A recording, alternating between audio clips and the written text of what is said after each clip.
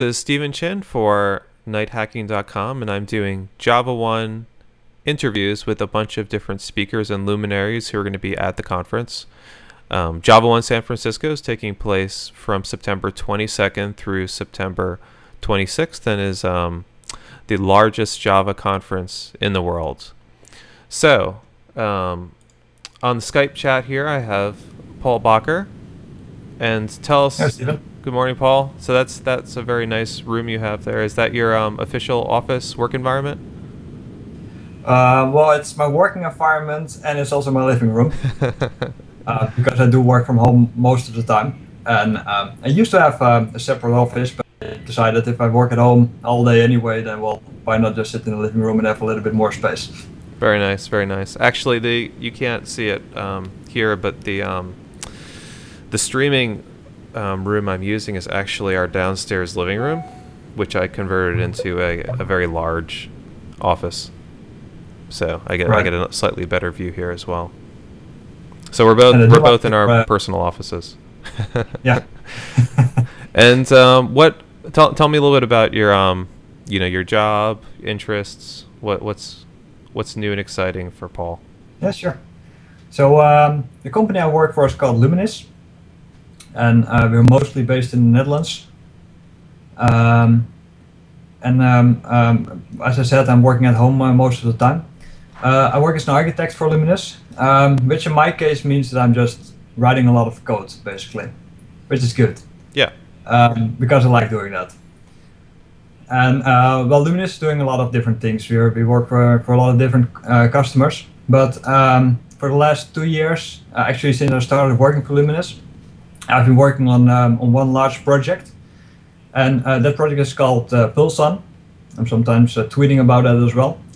And um, that's a project um, where we build a system that we use in high schools, currently in the Netherlands, and we're also uh, doing some pilots in, Oh, the, in the US. That's very cool. Yeah. And um, the students and teachers use that for more personalized learning envi- and uh, experience. Nice. Um, and with that, we're trying to well change the the way people learn more or less because there's well a lot of things wrong with um, schools, well at least in the Netherlands at the moment. Uh, and we're trying to improve that, which is a long and difficult way, but it's it's super interesting. nice. So you're very passionate about um, education.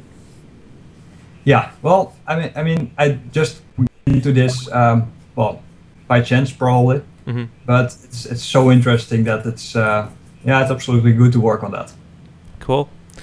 So um, while we were chatting earlier, we had we have a bunch of people on the live stream, and somehow Jim Weaver was able to figure out that you're a Metallica fan just by just by looking at you. so This is true. so tell us what your favorite Metallica song is. Jim would like to know. Um, I'm not exactly sure. I, I like uh, I, I like more of their old songs actually. So Master of Puppets, uh, Fixxxer, um, uh, The Memory Remains, songs songs like that. Hmm. And I was uh, actually it's funny. I was just driving back um, back home, and I was listening Metallica with the windows open, quite too loud actually.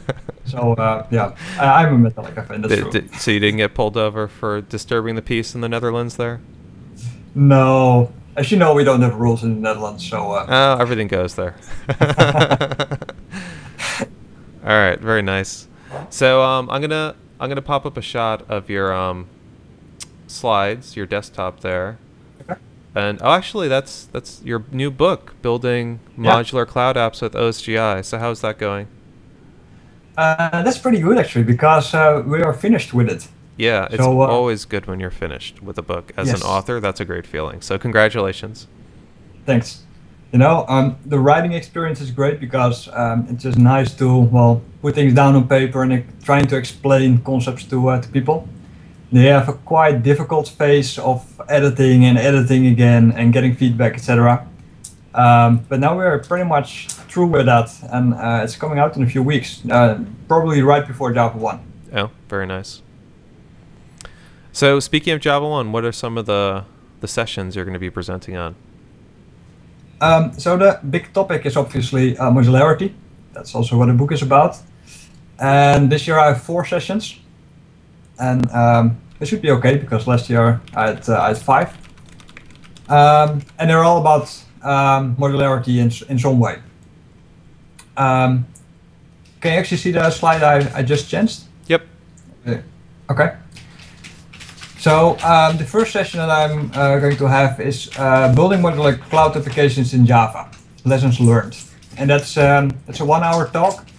And there we, um, I, I, do that one together with Bert. Er, so I hear, uh, I hear scratching in the background there. Uh, sorry about that. That's my cat. oh, very nice. How how Again. how old is your cat? uh, it's about a year old. Oh, so he he or sh- is it he or she?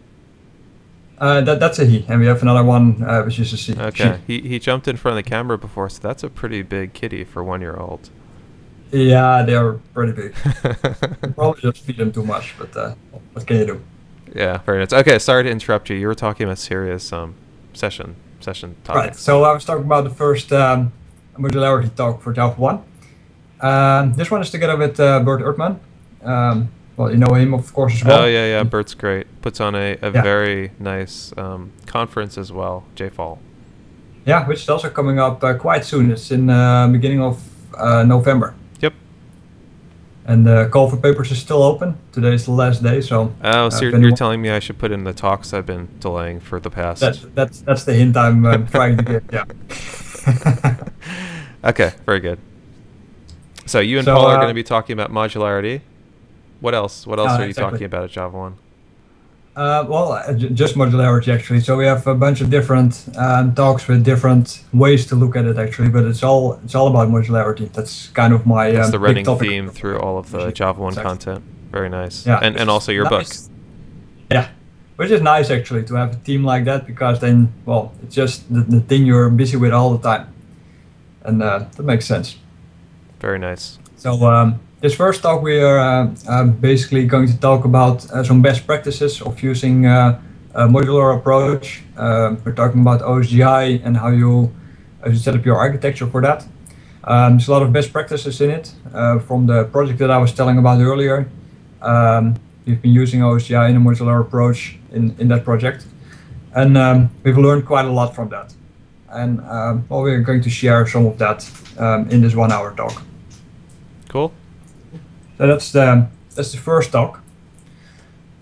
Um, and then the second talk is a tutorial. So that's um, what is a two-hour talk? I'm not even sure actually. Tutorials are two or three hours at Java One. I think it's in the two-hour range, but you know, you you probably have to ask like the conference chair, someone who actually knows this stuff. Yeah, well, I probably figured that out before uh, we actually have to uh, be there. um, but that's also about uh, and in uh, that talk we are going to do um, a lot of live coding actually, and we're going to show you OSGI from the ground up. So um, a lot of people, well, probably know a little bit about OSGI but never really used it. They um, probably think that it's really difficult and hard to use, and that you have to go through a lot of well, painful things to actually get to uh, get to a modular approach. Um, and we are going to show that's actually not that difficult, and it's actually something um, that everyone can just start doing. Cool. And uh, and you're going to show live code. It can prove to people that it's actually not that hard to get started with those. Yeah, know. exactly. Very nice. So in this uh, in this two hours, we're um, well, going to discuss some architecture uh, to start with, and uh, then we're basically going to build an application from scratch um, with uh, well some enterprise-like things on it, like uh, using MongoDB and um, building RESTful web services and stuff like that. Cool. And you have a third talk as well, right? Yeah. So um, the third talk is um, modularity again, uh, of course, uh, but that's more about um, uh, infrastructure and uh, deployment. Um, so the project um, that, I, that I'm working on, we are deploying in the cloud. We're running on the on Amazon cloud, and uh, we need, need quite a large scale because well there are a lot of students obviously, and we need to well scale out to schools with a lot of students uh, all using the system at the same time. Um, so we're using the cloud for that. Um, but that's well, of course, easier said than done because I mean, talking about the cloud and scalability, that's that's quite easy, and you've um, been he hearing that for the past few years. But actually doing it is actually well, you need to um, set up quite a few things. And um, here we're going to share best practices on uh, how we did that and what we've uh, learned from that. So we're going to talk about the provisioning with Apache ACE. Uh, is a project that we um, uh, that we work on a lot uh, as well. Um, some things about scalo, uh, sc scaling and failover and modular deployments. Um, that is really the other side of um, well being modular and going to the cloud. Cool. So you got a you got a lot of preparation for Java One. How's the um, session prep going with Paul? Are you guys almost there? Um, well, luckily we have been doing most of the talks uh, before already um, on other conferences. So uh, then we well at least uh, get get got got the basics already. Um, which is also good because well the, the third and fourth time you're doing a, a talk is always better than the first time. Yeah, yeah. So you, Um, you, you, you went to those other conferences and you practiced and prepped for Java One, right? Yeah, more or less. we, we've been doing a lot of conferences in the past few months, uh, to, especially together with Bert. cool. and um, uh, which is always fun, but it's also good for your talks because uh, they just get better and better and better. So uh, Java One is going to be like the grand finale. Very nice. And and when are you actually headed out to San Francisco? Are you going to fly in the That's weekend right. before? Um, flying in on Friday, and then uh, on Saturday we are probably going to do a wine tour or something like that. I'm um, Oh, together nice. with uh, Bert and two other colleagues of mine, uh, Marcel and Sander, and um, we're probably going to do a wine tour. We've all been to San Francisco many times already, so uh, Yeah, yeah. No, that is one of the highlights of coming to the Bay Area. Is there's quite a lot of stuff to do within. Um, Yeah, yeah, there is. I think it's my sixth or seventh time in Java One uh, this year, um, but it's always still fun to come back. Very nice. All right, so we had a question from the stream. Jim Weaver was wondering what example cases you're using HTML5 for and what the sweet spots would be. Um, so maybe I, I um, actually that's that's a question that's uh, quite related to the last talk that I'm having. Um, I just put it on uh, on the screen as well, because there we're going to talk about well modularity still, but uh, modularity on the client side, because we're going to talk about modular modular JavaScript. Oh, Um, the project that I'm working on, we are um, uh, it, it, it should work on all kind of different devices, so all kind of different tablets, um, desktop uh, computers, and um, it's all in a browser, so it's all HTML5. Um, which is pretty good on one side because well you get uh, portability Mhm. uh, between devices, but well it's not easy um, as well. Um, especially if you get into JavaScript, because if you're going to do a lot of client-side work, uh, well, you're going to write a lot of JavaScript code. And um, if I look at myself, at least, uh, I, I've always seen JavaScript a little bit like something that uh, you know designers uh, should do. I don't really want to care about JavaScript too much uh, because well, I was doing the backend stuff and I was using Java. Yeah, but I mean, so sometimes you need to be able to do the full end to end of the application. So you've probably dipped your hand in quite a bit. Yeah. So at some point we just figured out, well, this is not something we can just do some uh, let, let, let the UI guys do. This is some serious programming work now Yeah. uh, because we're just doing so much JavaScript at the moment. Um, and we've well, we've been struggling with that because you need um, best practices for uh, how to set up your code, how to be modular, and uh, how to maintain a large code base, etc. All the questions that you would have All, in all Java. the things well. which Java is quite good at. do. Yeah. Um, so we've been spending a lot of time well learning uh, ourselves or teaching ourselves how to do this in JavaScript as well. And um, well, that's that's what the last la, la, last talk uh, is about. I'm doing that with uh, Sander Mak, another colleague of mine.